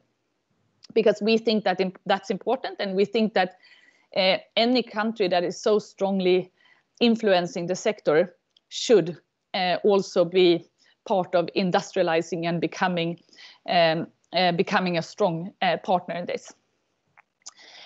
Uh, so from the mining sector going forward, uh, we have the advantage of being with our factory. So material we buy goes into our factory and then we produce the cathode material ourselves. That gives us the advantage that everything onwards is under the roof of the factory uh, on the cathode side, and that's 100% uh, hydro and wind power, meaning that the factory is on 100% uh, carbon-free electricity. And this altogether gives us the possibility to achieve uh, about 70% less uh, carbon dioxide footprint um, than, than the benchmark uh, factory today. But that, that's not enough. I mean, we still have to be considering uh, today's environmental issues, such as protecting the Baltic Sea that we are close to, and also making sure that we are prepared for the future so that um, any uh, any future generation that looks back didn't say to us that hey you guys all you thought about was the climate change. But what about the water? What about the forest? What about the ecological footprint? What about biological diversity? So we are making sure that we are tracking uh, the entire production uh, from various perspectives. And we are also very proud to, uh, proud to be part of the European Commission initiative on the product environmental footprint analysis, which is a, a pretty uh, granulated analysis of uh, life cycle assessment that we do on all our products. Uh, so that's very important. Um, we're also deciding uh, that we, for our factories, will uh, make adaptations that bring us a little bit into the future. And one example of that is that we are recycling the salt that we produce instead of just um, disposing it into the sea, which is pretty normal, and so forth. Uh, but I think that the most important thing that we have uh, on our agenda is the recycling, and we did set up that uh, already from the start, um, meaning that we want to take back the batteries at the end of life. And uh, um, we want to do that for so many reasons, but I think that the one that we really need to point out is that this market is growing so strongly and the, the raw material need is huge. It's very, uh, this is was pointed out as a, the only market risk given that the buyer side of the market is, is very strongly growing. And, and what we see is that all the material that we import to Europe, we really need as as a team within Europe to make sure that we have a plan for making those materials stay within Europe and for utilizing those, not only recycle them somewhere, but making sure that we recycle them back to battery grade materials. And especially for cobalt, that is um, increasing so rapidly in demand. And this is basically the only sustainable way to, to refine it and, and recycle it so it's it's really key that we learn to do this together and that we set up uh, short supply chains for the recycling so that each battery finds its way back uh, into the uh, to the battery production uh, cycle again at the end of its life. And the key to do this is really to cut um, the supply chain. It's to make sure that materials do not travel around the world before they end up again in, in, in production. And it's to make sure uh, that we take as full responsibility as possible. And I think it was uh, one of the previous speakers also talked a lot about this uh, from the mining perspective. But in this case, um, it's actually about making sure that we here in the Nordics learn how to really prepare these materials uh, ourselves and to make sure that we understand uh, the complexity of that, that we understand uh, how to mitigate potential Uh, harmful effects, uh, and that we and that, that we take this production under a roof in the Nordics, uh, and that we do uh, make sure that we buy from the most sustainable sources. A normal battery manufacturer in a benchmark factory would buy their material here. So they would buy the anode and the cathode somewhere from, and they would start the electrode manufacturing, so coating the foils, uh, and then they would go into cell assembly. Some do modules and packs. Um, and, and Northvolt calls this the vertical integration, and I, in the future, will try to, um, to rephrase it into a circular uh, integration. But vertical integration really means that under the roof of Northvolt, we go all the way from the uh, metal chemicals through to recycling. And we will even introduce an integration of the recycling into the metal, chemicals production to make sure that it's, it's as seamless as possible and that we cut as many um, production steps as we possibly can. But primarily, that this site that we found in the uh, in the northern Sweden that has a very low ecological footprint, that has 100% renewable energy, that has um, a very strong feed of power from renewable sources, um, and that has a very strong industrial tradition, that we do as much as possible under those conditions so that we really utilize uh, the the perfect plot that we have and the perfect uh, industrial setup that we are building there. A little bit about how we are now expanding in, in, in Europe. So if we go back to uh, just uh, uh, three years back, we were in a very extensive site selection process for, for finding the perfect plot and the perfect site. Uh, we were between uh, a number of cities in Sweden and Finland.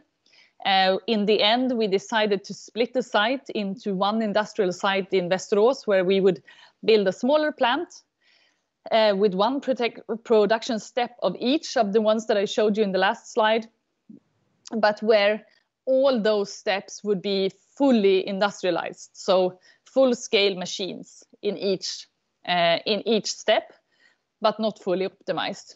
And then we also decided that in the Nordics, uh, in the northern Sweden, in Skellefteå, we would build the gigafactory uh, to produce in the first phase 16 gigawatt hour, but in the expansion 40 uh, gigawatt hours. And since then, we have also expanded to be building a battery systems factory in Poland, in Gdansk.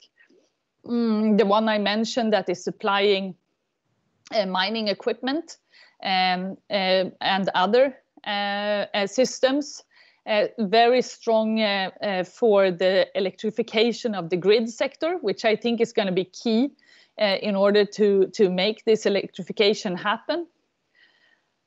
And then we have also announced two uh, very, very interesting joint ventures, one with Volkswagen in Germany uh, to build uh, to build capacity for cell manufacturing, and now most recently the Hydrovolt um, company in here in uh, Norway, um, in Fredrikstad, uh, which we are very excited about, uh, and I'm gonna come back uh, to that one.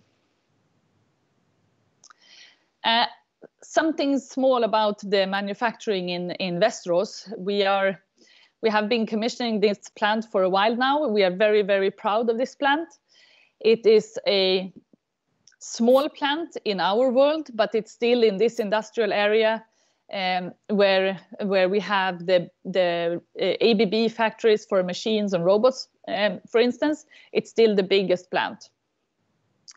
Uh, here we are uh, now uh, commissioning each and every one of the process steps.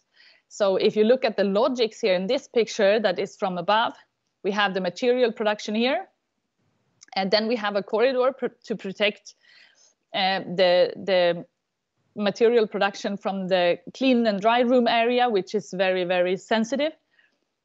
And then we have slurry preparation for the coaters. And in this long building here, uh, we have coaters uh, that code, uh, coat anode and cathode um, on copper and aluminum foil, uh, what you can see here.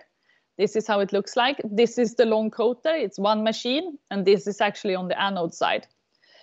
Um, and then after that, it's these clean and dry rooms where we have uh, the, the cell assembly. So the, the foil is cut, it's put together with a separator in between, it's put in their casing, and the electrolyte is filled and so forth. And then we have also a very nice office area where we have now about 300 people sitting and working every day. Uh, and speaking of Corona, we have kept the production and the office open, uh, but we offer testing programs and we offer and we have a demand for for um, a mask for everyone. This is a rendering of the same plant. And why do I want to show this? Is to show you that we are building the recycling plant in an adjacent uh, facility. And this will be up and running now 2020 this summer. So we are also installing now as we speak uh, in the facility here to the right. Uh, it's going to be all the recycling steps. So it will be uh, discharge, dismantling, uh, crushing, sorting, and then uh, a developed hydrometallurgical process that takes the material to battery grade. Uh, we developed this now over two and a half years, and um, it's going to be really exciting to to get that proof of concept out for, for the process. Looking forward, we expect to be still expanding on our land here in Västerås, and we expect the recycling plant to be here. We will also build a safety and environmental lab uh, to continue building our strong brand in this. And then um, together with that, the performance uh, and life lab. Uh, we believe that any manufacturer in uh, in the on the European market will have to be differentiating on on sustainability, but that doesn't take away that we have to be the high uh, producing batteries with the highest performance and at a very strong cost uh, advantage to be able to compete on this market. So even though we think that the sustainability is going to be hugely important, we do not expect that to be a premium battery. We expect that we will still have to be competitive um, on, on all the other factors. Meanwhile, up in Skellefteå, uh, I'm actually jumping in the car uh, just after this going up there since the flights are a little bit limited. Uh, we have the giga scale uh, construction ongoing uh, for, for the first 16 gigawatt hour block. And this is uh, it's pretty amazing when you when you see it, but it's um, uh, this is the upstream building. It's going to keep the same logic uh, and then we are building the two downstream line here for the 16 gigawatt hour uh, and some other adjacent buildings for material handling and so forth. If we look at the rendering, it keeps the same logic, so material preparation here, and then we have the, the coating and the cell assembly, and then the final blocks here are for charging and discharging and maturing the batteries before going out uh, to customers um, here. Something that is uh, really going to differentiate Northvolt uh, is how we work with data. And I think that I would really like to encourage anyone that goes into this business to take a look at this because uh, we talk a lot about traceability, when we talked about the product environmental footprint. But what we see normally is that uh, a lot of the industrial players need to work with average values because there is really very poor quality of the data that is out there for tracking the actual footprint of each of the batteries. And we were lucky that Peter and Paolo could bring with them from California uh, Landon Mossberg, who is our chief digital officer, who also uh, had that function for the Tesla building the that global infrastructure of communicating with the with the vehicles. And what we will set up is something we call the connected batteries that will allow for us to trace uh, the materials from the source, uh, the level of recycled materials, the, the, the carbon footprint, but also uh, performance, performance footprint of the batteries. And also, of course, trace everything within production. And if we can't do this, we can't really say uh, what happened to each of the cells uh, and how we can improve um, from a footprint point of view, of course, but also from a performance point of view, uh, how the cells will be uh, behaving in the future. So we think that this is going to be one of the key deliverables from Northvolt that is going to enable all this, including sustainability, uh, because uh, that tracking is so important for, for, for making sure we have key learnings and for making sure that we can advise the customers in the best way when it comes to the uh, to the life of the battery. And I think key. Sometimes I get the question when we talk about uh, recycling versus second life, and I I'm a promoter of having the batteries on the market as long as possible. But what I would like to encourage is to make sure that the batteries can actually stay in their fit for purpose use as long as possible. So not having them uh, refurbished for other purposes where they might not be optimal, but actually making sure that the batteries can can be on their market, um, that they're brought home in time for service, um, that they are brought home before they become critical, uh, and that they are uh, and that they are staying on the market as long as possible in the best uh, their best performance, and then being recycled uh, to new uh, modern batteries with new fit for purpose optimization. Can I see how much time I have? Yeah, I'm, I'm on this. Uh, the last slide I really want to um, to talk about is uh, my own um, uh, my own business unit Revolt and how we have now uh, successfully launched the Hydrovolt uh, joint venture together with Hydro, Norsk Hydro, which I'm so excited about. Uh, we are so proud about the Norwegian market. We are so impressed by how, by how fast and how independently from the rest of the world uh, you have de developed your EV um, uh, fleet uh, and how brave you've been in just uh, solving issues uh, as you went along with this. And this gives a huge opportunity for us that work in recycling because your market is is very mature and there are already batteries uh, coming back uh, to recycling. So there is a huge experience in uh, in batteries already in Norway.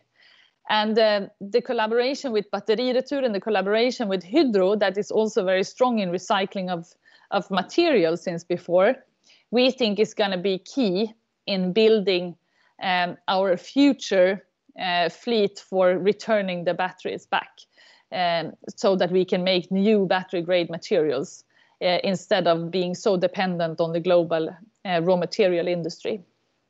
Uh, so what we will do is that we will collect the batteries and we will have a very strongly integrated collaboration together with Batteriretur in Fredrikstad. Um, and then uh, we will, uh, together with Batteriretur, we will discharge and dismantle them so that they, they become harmless and that they become in a form where we take out really the cells and the modules that needs to be recycled where other materials are of course recycled on other markets than the battery market or um, they take a loop out for instance to Norsk Hydro for aluminum and becoming new fresh so uh, foil uh, for for shipment back to the factory.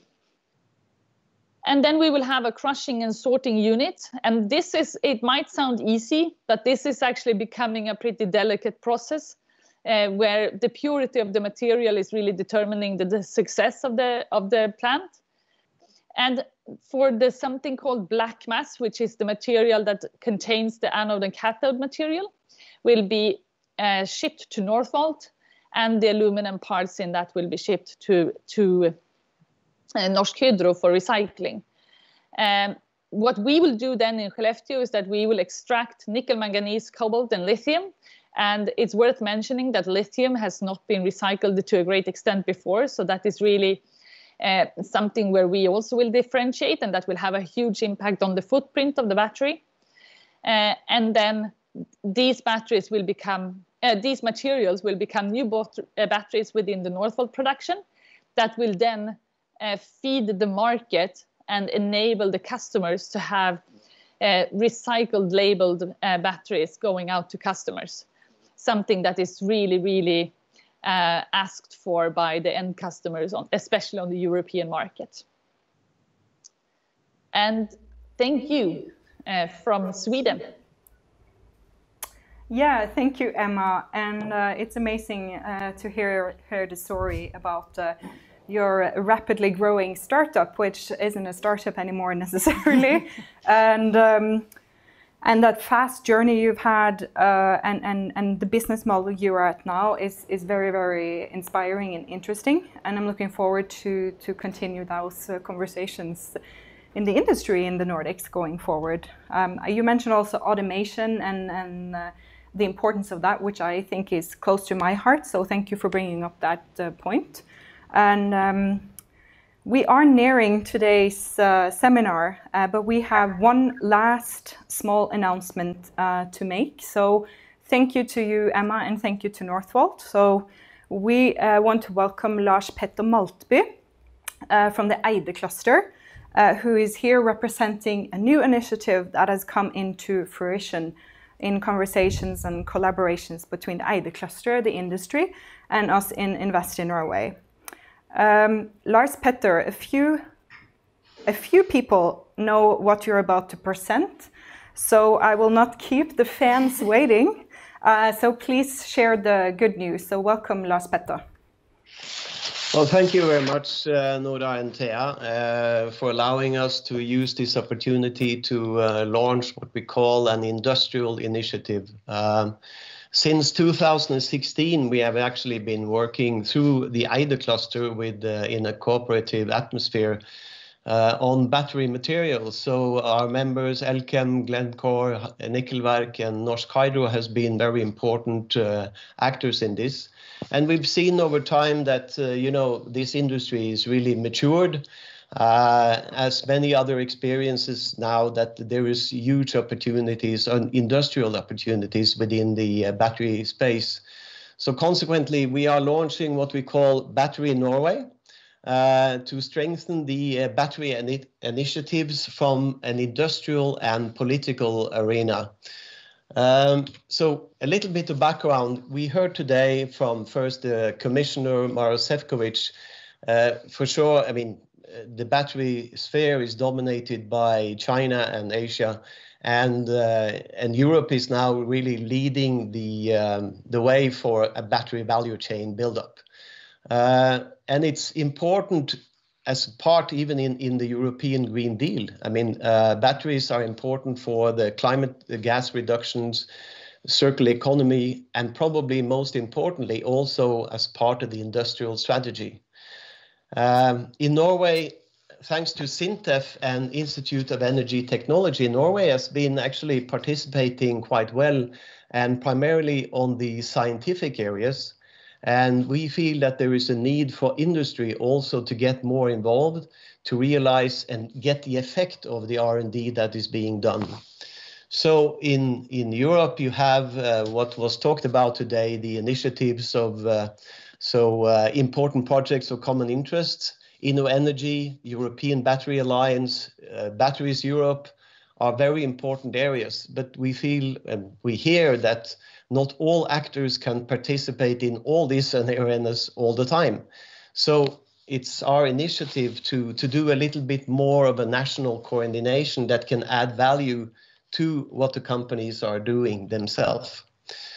Uh, what was also talked about today by uh, by Nicholas uh, Fredrik Persson and Arvid Moss um, is that you know what makes more sense is also to cooperate between our Nordic neighbors, and, and we saw perfect examples of that be uh, through Northvolt, Norsk Hydro, and and we know that there are more contacts also between in the in the Nordic area. So Nordic and Sweden are really complementary in terms of the industrial structure and experience of Norway. Sweden as the, I would say, the Nordic industrial locomotive, Finland's mineral and processing competencies, and Norway with renewable power availability and also the process industry competencies and the materials uh, competencies and specialization of, of products and which is primarily exported into the European uh, market. Um, so uh, we, think that the uh, Nordic arena can be utilized uh, to um, to even further and to build sort of uh, an atmosphere or a common atmosphere between the Nordic countries and, and Battery Norway would very much like to take to facilitate such a role on behalf in Norway. Uh, similar like we are doing today. Also, I think probably most importantly is that uh, we, we saw in Norway a couple of weeks ago the Norwegian government launching a new stimulus package for green transition and transformative technologies. And batteries was mentioned as a key area. But also in the same package, it's mentioned offshore wind, hydrogen, circular economy, maritime transition, bioeconomy. There's a lot of things that we need to do to to transform our industry uh, infrastructure, uh, industry, and also to deliver on those uh, main goals of, of climate gas reductions. Uh, and, and we feel that it's important to lift the battery space in Norway because it can, as you mentioned earlier today, Nora, it can create 10 thousands of jobs it can increase the export values of uh, in, uh, of, of what they're doing today, and it and, and even more importantly also it creates more value on the renewable power power that we produce in Norway. So through our I would say Batman project and the cooperation with Invest in Agder, we, as you see in the picture, we launched, uh, uh, we had a meeting in December last year. There was enormous interest. It's much broader than the important key players. So uh, we think that uh, we, we, we, there is uh, absolutely room for more cooperation, more human interaction between the uh, battery space, such as the one we are seeing today, unfortunately on a webinar, but that's a very effective way of doing it also. We think that it's important to create the necessary cooperation arenas. And, and this should be also driven by industry so that it facilitates the development of the Norwegian battery ecosystem. So what we've said so far is uh, is really uh, a start. Uh, the objectives of Battery Norway are to consolidate and development of a national strategy, expand the number of companies and the areas within activity which Norwegian battery in the value chain uh, do. Uh, and also, Norway has a very good scientific competence, but there is a need to educate more people within the industrial skills area. We have to realize on, on, on the research and development that's being done. And in addition, in a small country like Norway, it makes sense to look at industrial infrastructure uh, in a shared example, for instance, through catapults like future materials and sustainable energy so that we can share the facilities to the extent that we can rather than individually build up everything by ourselves. As already mentioned earlier today, so I will not uh, talk much about that, but uh, it's, it's really the cooperation within the Nordics and the EU is critical. And lastly, Battery Norway will assist and partner with Invest in Norway to attract more investments to Norway. So finally, uh, Battery Norway, as launched today, is only a start. We have reached out to Freyr by Beyonder and Morrow as the battery producers Elkem and Glencore Nikkelverk as material producers and as our first dialogue partners to ensure that we are creating value for industry. So Battery Norway will be for the whole battery ecosystem, so that uh, we hope that as many companies as possible that find this relevant and want to be participant in a common platform, uh, so that companies and entities actively within the battery value chain join this initiative. We plan to sit down with these initial partners uh, shortly, and to reconfirm those objectives that were put forward and propose an initial path, which is based on the needs of the industry. I think I have to underline it even more importantly, that this is absolutely in order for the benefit of the companies themselves. So they should be in the driver's seat. They should tell what this, the content of this should be, and it should be industrial driven.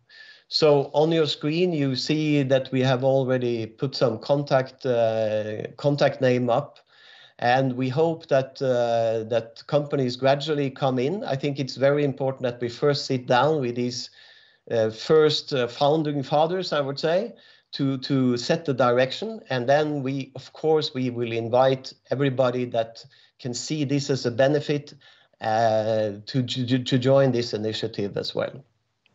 So thank you very much, and I leave it to you. Of course, uh, a lot of the a lot of the listeners today are uh, interested in learning more about that and and, and uh, reaching out per your invitation. I know that me, myself, and my colleagues in Invest in Norway and Innovation Norway is excited to collaborate on this going forward. So, Thea, what's up next? We are reaching now the end of today's seminar, and I think I am on safe ground uh, when I say that we all are all looking forward to see how the Nordic ecosystem will continue to grow.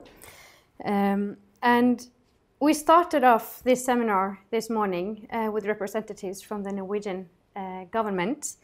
And I don't know about you, Nora, but I sense that we had strong support, and that also the Prime Minister and uh, Minister of Petroleum and Energy highlighted and anticipated collaboration, Nordic collaboration, uh, on the Nordic battery scene. Um, yes, I agree with you. Uh, collaboration was also highlighted by the Vice President, exemplified by the European Battery Alliance. So mm. when we collaborate in Norway, we need to collaborate in the Nordics, and then we collaborate in Europe, and then the world. So um, also, I noted that um, uh, Arvid mentioned that uh, in 12 months' time, we will see more uh, collaborations going forward, so that's that's gonna be interesting. Um, the fact that reduction of the need for primary critical raw materials is feasible through circular economy hmm. puts Norway and the Nordics at an advantage due to our long history and competence within circular projects, hmm. which several mentioned here today. We also understand that uh, through EFTA, there is also a chance for Norway to join in the important work around IPCEI. and uh, we're looking forward to see how these uh, conversations continue going forward. Hmm. Investments, they sure are important, and we do see um, that the private sector and industry are strongly committed to boost the ecosystem. Um, the Hydrovolt being an important example, uh, which was highlighted in uh, Emma's presentation from from Northvolt. And also from the discussion between uh, Arvid Moss and Fredrik Persson, we received strong signals that Nordic collaboration will be vital in the growth of the European battery sector. And they also highlighted that we are well-positioned in the Nordics to be in the center of the European battery value chain. Yes, and uh, we also heard that uh, batteries are the key to cutting emissions from transportation and industry. There is a growing consensus that we need to build a sustainable battery value chain in Europe, and uh, there are several good reasons why Norway and the Nordics can play a significant role in such a European battery value chain. One being mentioned several times today, that we are powered almost on 100% renewable energy, and our long and strong history of delivering high quality materials already to Europe will aid in manifesting this position. And uh, that was our key wrap up today. Um, we are missing mentioning one thing.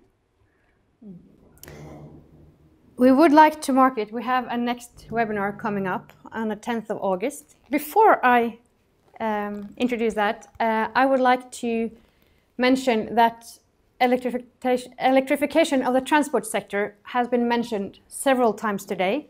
And this will be the topic for our third webinar, uh, which will take place in September. But first, we will meet again on the 10th of August. Um, and in the second webinar, we will um, focus on policy, sustainable material, materials, reuse, and recycling. And for those of you ha who have registered for today's uh, event, uh, you will get an email afterwards with a recording of this webinar, and you will also get a link uh, where you can register for the next webinar.